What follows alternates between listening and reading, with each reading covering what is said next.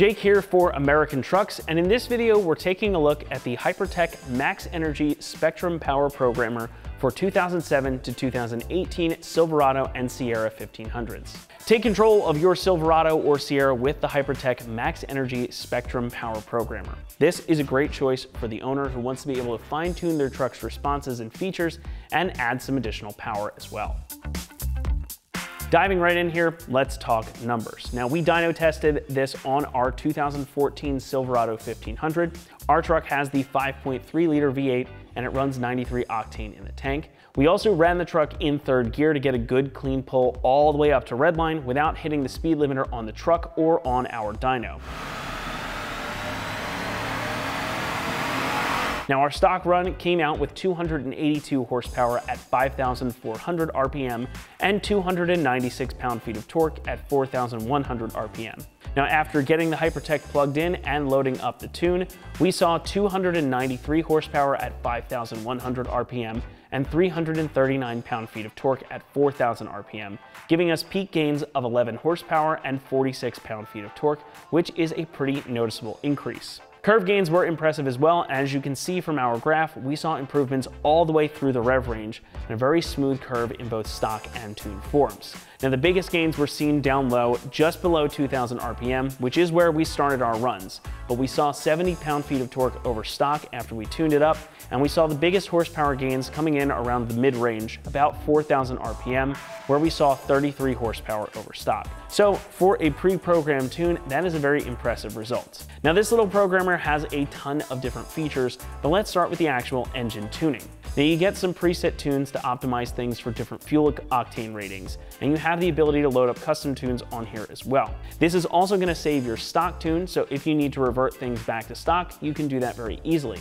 It also gives you the ability to save your tune as you set it up, because there's a bunch of different parameters that we'll talk about in a moment that you can adjust, and really with just one click, you can set everything back without having to go and select every different option. And that brings us nicely to the other parameters that you can adjust. You can deactivate the active fuel management or adjust it to come on at certain speeds. You can also adjust your top speed limiter all the way up to, I believe, 255 miles an hour, which if you're doing that on one of these, good luck, maybe don't set it that high. You can also accommodate for larger wheels and tires or different gear ratio and get your speedometer and odometer reading properly, and you can adjust the tire pressure monitoring system. And this also does something we don't see a lot of in other tuners. It also gives you the ability to adjust parameters for your automatic transmission. Now, since these are all electronically controlled, you can do a bunch of different things. You can adjust shift firmness, the shift response, and your shift points by RPM, raising them or lowering them.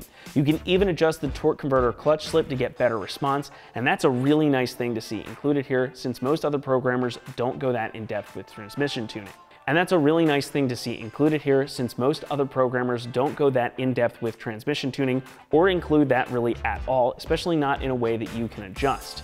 Now the Hypertech of course also allows you to read and clear diagnostic trouble codes, so if you do happen to get a check engine light, you can see what the code is and clear it away. The interface here is quite simple. You've got three buttons on the bottom, two on the side to scroll, and you have a full color screen. Makes it pretty easy to navigate, and the display is nice as well. Updates are taken care of via the free downloadable software and the included USB cable, so just plugging it into a PC gets you set up and ready to go pretty quickly. Pricing comes in at around $450, which in the grand scheme of things makes this a pretty good value for your money considering all it can do for you. It'll definitely undercut some of the other tuners on the market and if you're looking for a way to make the most out of your truck, this is a great way to get things fine-tuned just the way you like. And again, it adjusts things that some other tuners don't even touch at all. Installation is going to get a 1 out of 3 on our difficulty meter and should only take you about 30 minutes to complete. Now really this is just a plug and play setup. You plug this into the tuner and then you plug it in via your OBD2 port underneath of the dashboard. Now we built in a little extra time there to accommodate for getting this updated and playing around with the different settings. And you'll probably take some more time than that just figuring out how you like your truck setup exactly. But with that, let's hop on over to the truck and we'll show you how to set this one up. All right, now it is time to install the Hypertech Max Energy Spectrum Programmer on our 2014 Silverado here.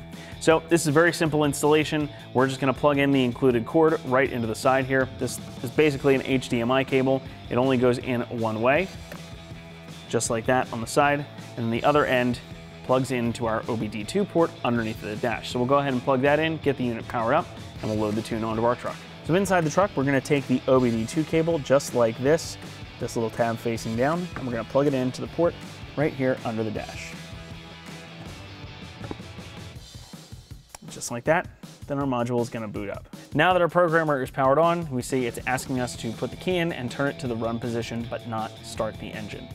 So this is gonna happen for most of these types of things. It's also very important when we do this to make sure that your battery is nice and healthy because the truck is gonna be running purely on battery power for a lot of this until we get everything loaded up into the truck. We have ours plugged into a battery tender here because we're doing a bunch of stuff on this truck in one shot. But if you can grab one of those, highly recommend it. So we're gonna go ahead and turn the key on.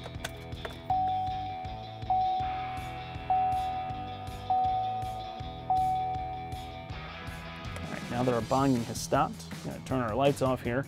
We're gonna go ahead and hit OK. This will bring us into the main menu. So you see it's gonna read the VIN, that'll pop up right down there. Now I know that's ours because I checked it beforehand. After a moment, it brings us to the main menu. So this is a pretty simple five button interface and it'll show you what ones are gonna work down here. So to scroll back and forth, obviously right and left here, we've got our tuning, quick commands, trouble codes, setup and information, and then we're back to tuning here. So we're gonna start with the first and most important thing, which is why we're here, and that's to tune the truck. So we're gonna go ahead and hit select, and you see a couple of different options here. So you've got preset tuning. Now, if you've got anything already set yet, this is a preset that you have done yourself. So as you can see, we don't have any of those set. This is a fresh module that we just pulled out of the box. Previous tuning will come down there and we have uninstall as well, but we're going to custom tuning. So we're gonna hit select here and this is gonna go ahead and read the vehicle. And once it does that, it'll have some options for us to pick from, and then we can program the truck.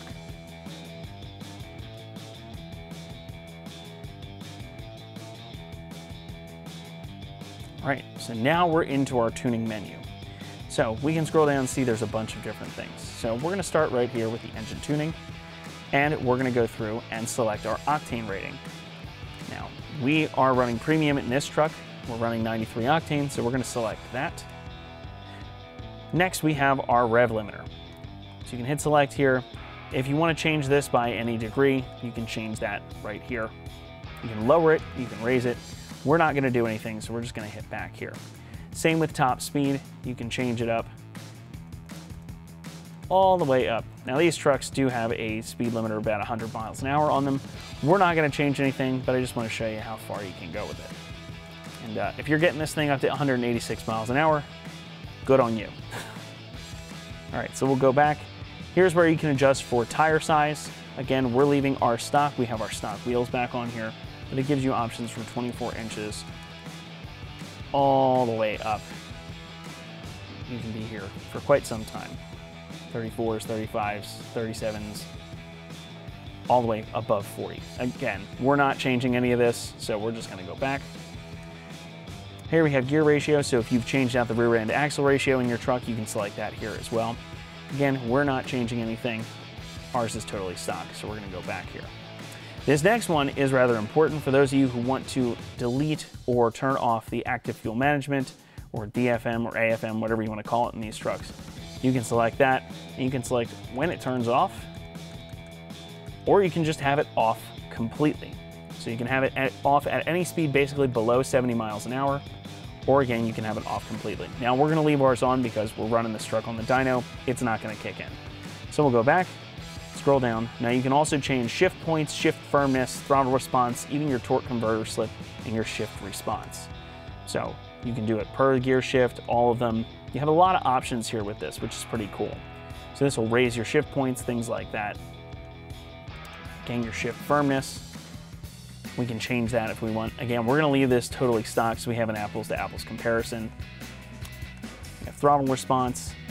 Again, you can change this as well. And you see there's a bunch of different settings, everything from stock to track, tow, and anything in between.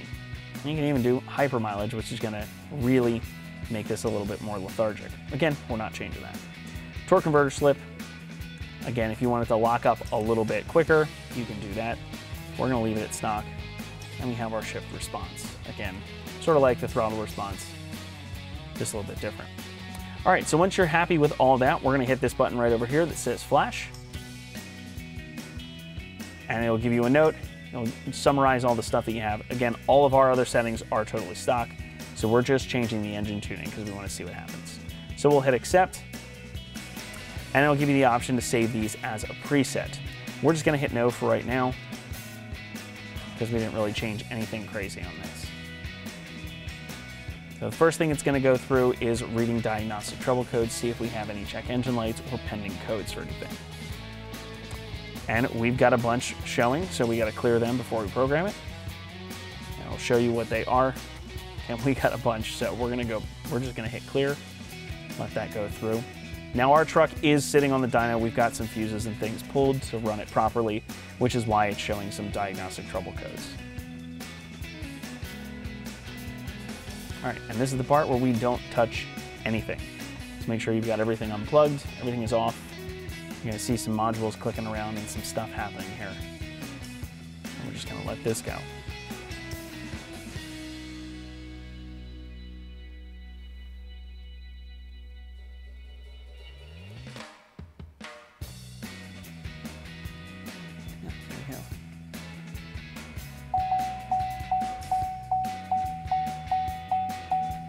So you see we're at about 60% right now and everything just kind of flashed off and on. We had some modules click underneath the hood. Again, this is all totally normal for something like this.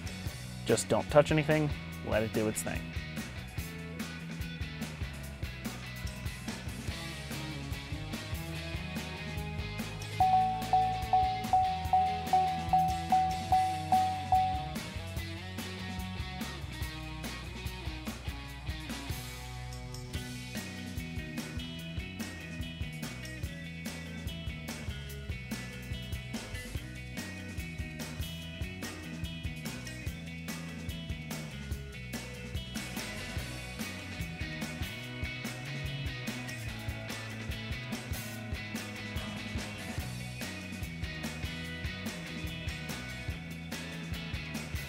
Now it's gonna go ahead and write the tune onto the truck.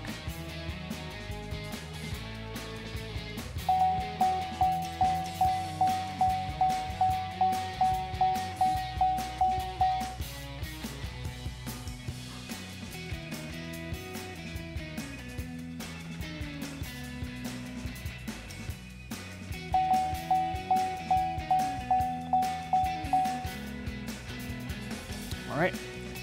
Now that we've sat here and been patient, it's asking us to turn the key off and then press OK. We'll do that. Nice handy countdown for us.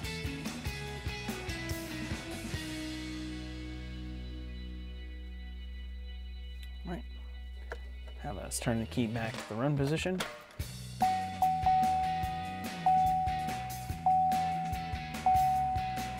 Hit OK.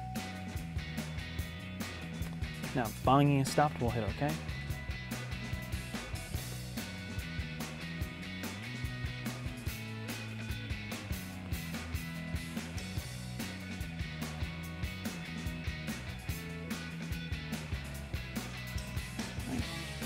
Turn the key off now.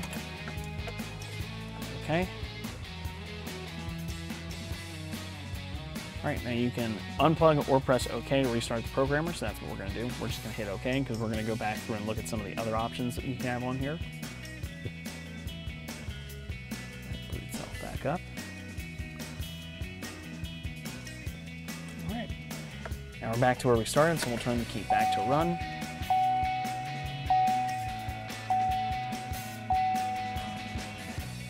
Hit OK. Boot back up just like it did before and bring us back to the main menu. Okay, now we're back to the menu we saw before. So if we go back into tuning here, you see we can go to uninstall tuning. So that's what you would want to do if you're going to reset your truck back to stock. So we'll go back to the main menu for now, and we'll go over and check out the quick commands section. So this is where you can adjust your tire pressure monitoring system on this truck. Now different trucks may have some different options here, but on this one, this is what we've got. All the other stuff that we're gonna do has to be done through the tuning. So you can adjust all four, you can adjust front and rear separately if you want, and you can set the different pressure that you want the alert to go off at. We're gonna leave ours alone, but you can set it anywhere from 25 on up. And it'll ask you to just flash it. So we can go back here, bring us back to the main menu, and that brings us to the trouble code section. So this is the diagnostic section. So if we select that, this is gonna do kind of what it did before when we programmed the truck with the tune and read the engine computer to see if there are any pending or stored codes. Okay, so we've got two here. We can see what those are. These are definitely gonna be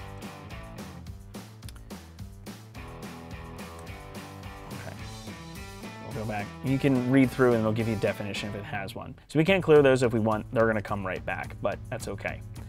So we'll go back here, and then the next section is the setup and info. So if you wanna see any of the device information, you can see that as well. Vehicle information, which basically gives you the tuning status. So if you can't remember what you have on there, you can set that. You can check the calibrations and see your VIN number too. And you can also select the brightness. And then that brings us back to tuning. That's gonna wrap it up here for our review, install, and dyno test of the Hypertech Max Energy Spectrum Power Programmer fitting 2007 to 2018 Silverado and Sierra 1500s. Thanks so much for watching, and as always, for all things Silverado and Sierra, be sure to keep it right here at AmericanTrucks.com.